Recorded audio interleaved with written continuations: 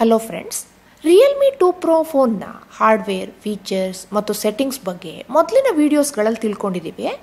ಆ ವೀಡಿಯೋಸ್ಗಳ ಲಿಂಕ್ ಕೆಳಗೆ ಡಿಸ್ಕ್ರಿಪ್ಷನ್ನಲ್ಲಿದೆ ಈ ವಿಡಿಯೋದಲ್ಲಿ ನಾವು ಹಳೆ ಫೋನ್ನಿಂದ ಈ ಹೊಸ ಫೋನ್ಗೆ ಎಲ್ಲ contacts messages apps media files ಇವನ್ನೆಲ್ಲ ಒಂದೇ ಸಲ ಹೇಗೆ ಟ್ರಾನ್ಸ್ಫರ್ ಮಾಡೋದು, ಅಂದರೆ ಕ್ಲೋನಿಂಗ್ನ ಹೇಗೆ ಮಾಡೋದು ಅನ್ನೋದ್ರ ಬಗ್ಗೆ ತಿಳ್ಕೊಳ್ಳೋಣ.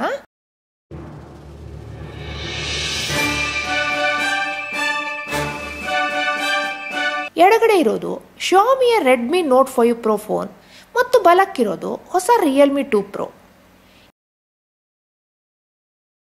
ಈ ಎಲ್ಲ ಸೆಟ್ಟಿಂಗ್ಸ್ನು ಮೊದಲನೇ ವಿಡಿಯೋದಲ್ಲಿ ನೋಡಿದ್ದೀವಿ ಇಲ್ಲಿ ಎರಡು ಆಪ್ಷನ್ಸ್ ಇದ್ದಾವೆ ಒಂದು ಈ ಫೋನ್ನ ಫುಲ್ ಹೊಸ ಫೋನ್ ಥರ ಯೂಸ್ ಮಾಡೋದು. ಇನ್ನೊಂದು ಹಳೆ ಫೋನ್ನಿಂದ ಎಲ್ಲ ಡಾಟಾನು ಇದಕ್ಕೆ ಇಂಪೋರ್ಟ್ ಮಾಡಿ ಈ ಫೋನ್ನ ಯೂಸ್ ಮಾಡೋದು. ಹೊಸ ಫೋನ್ ಆಗಿ ಯೂಸ್ ಮಾಡೋ ಆಪ್ಷನ್ನ ಲಾಸ್ಟ್ ವಿಡಿಯೋದಲ್ಲಿ ನೋಡಿದ್ದೀವಿ ಇಲ್ಲಿ ನಾವು import data from an old ಫೋನ್ನ ಟ್ಯಾಪ್ ಮಾಡೋಣ. ನನ್ನ ಫೋನ್ ಆ್ಯಂಡ್ರಾಯ್ಡ್ ಆಗಿರೋದ್ರಿಂದ ಇಲ್ಲಿ import from an Android phone ಮೇಲೆ ಟ್ಯಾಪ್ ಮಾಡೋಣ. ನಮ್ಮ ಹಳೆ ಫೋನ್ನಲ್ಲಿ ಕ್ಲೋನ್ ಆ್ಯಪ್ ಇನ್ಸ್ಟಾಲ್ ಆಗಿಲ್ಲ ಅಂತಂದರೆ ಮೊದಲು ಇನ್ಸ್ಟಾಲ್ ಮಾಡ್ಕೋಬೇಕು. ಅದಕ್ಕಿಲ್ಲಿ ಟ್ಯಾಪ್ ಹಿಯರ್ ಟು ಇನ್ಸ್ಟಾಲ್ನ ಟ್ಯಾಪ್ ಮಾಡೋಣ. ಇಲ್ಲಿ ಕೊಟ್ಟಿರೋ ಲಿಂಕ್ ಮೂಲಕ ಆ್ಯಪ್ನ ಹಳೆ ಫೋನ್ನಲ್ಲಿ ಇನ್ಸ್ಟಾಲ್ ಮಾಡ್ಕೋಬೋದು. ಅದನ್ನು ಮಾಡೋಕ್ಕೆ ಹಳೆ ಫೋನ್ನ ಬ್ರೌಸರ್ಗೆ ಹೋಗೋಣ. ಇಲ್ಲಿ ಅಡ್ರೆಸ್ ವಿಂಡೋದಲ್ಲಿ ಟೈಪ್ ಮಾಡೋಣ. S dot com slash download ಆಮೇಲೆ ಎಂಟರ್ ಪ್ರೆಸ್ ಮಾಡೋಣ. ಈ ವಿಂಡೋದಲ್ಲಿ ಓಕೆ ಮೇಲೆ ಟ್ಯಾಪ್ ಮಾಡೋಣ. ಇಲ್ಲಿ ಇನ್ಸ್ಟಾಲ್ ಮೇಲೆ ಟ್ಯಾಪ್ ಮಾಡೋಣ. ಈಗ ಡನ್ ಮೇಲೆ ಟ್ಯಾಪ್ ಮಾಡೋಣ. ಬ್ಯಾಕ್ ಕೀ ಮೂಲಕ ಫೋನ್ನ ವಾಲ್ಗೆ ಹೋಗೋಣ. ಇಲ್ಲಿ ಕ್ಲೋನ್ ಫೋನ್ ಆ್ಯಪ್ ಮೇಲೆ ಟ್ಯಾಪ್ ಮಾಡೋಣ. ಈ ಆ್ಯಪ್ ಹಳೆ ಫೋನ್ನ ಸೆಟ್ಟಿಂಗ್ಸ್ನ ಹೊಸ ಫೋನ್ನ ಸೆಟ್ಟಿಂಗ್ಸ್ ಮೇಲೆ ಓವರ್ ರೈಟ್ ಮಾಡುತ್ತೆ. ಅದಕ್ಕಿಲ್ಲಿ ಗೋ ಟು ಸೆಟ್ಟಿಂಗ್ಸ್ ಮೇಲೆ ಟ್ಯಾಪ್ ಮಾಡೋಣ. ಇಲ್ಲಿ ಅಲೋ ಮಾಡಿಫೈ ಸಿಸ್ಟಮ್ ಸೆಟ್ಟಿಂಗ್ಸ್ನ ಎನೇಬಲ್ ಮಾಡೋಣ. ಬ್ಯಾಕ್ ಆ್ಯರೋ ಐಕನ್ನ ಟ್ಯಾಪ್ ಮಾಡಿ ವಾಪಸ್ ಹೋಗೋಣ. ಸ್ಟಾರ್ಟ್ ಕ್ಲೋನಿಂಗ್ ಟ್ಯಾಪ್ ಮಾಡೋಕ್ಕೆ ಮೊದಲು ಹೊಸ ಫೋನ್ನ ಆನ್ ಮಾಡ್ಕೊಳ್ಳೋಣ. ಇಲ್ಲಿ ಮೇಲ್ಗಡೆ ಡನ್ ಮೇಲೆ ಟ್ಯಾಪ್ ಮಾಡೋಣ. ಹಳೆ ಫೋನ್ನಲ್ಲಿ ಈಗ ಸ್ಟಾರ್ಟ್ ಕ್ಲೋನಿಂಗ್ನ ಟ್ಯಾಪ್ ಮಾಡೋಣ. ಕ್ಯೂ ಆರ್ ಕೋಡ್ನ ಸ್ಕ್ಯಾನ್ ಮಾಡೋಕ್ಕೆ ಹಳೆ ಫೋನ್ನ ಹೊಸ ಫೋನ್ ಮೇಲೆ ಈ ಥರ ಹಿಡ್ಕೋಬೇಕು.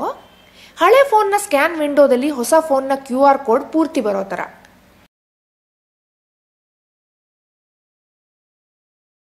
ಈಗ ಎರಡು ಫೋನ್ ಕನೆಕ್ಟ್ ಆಗಿದ್ದಾವೆ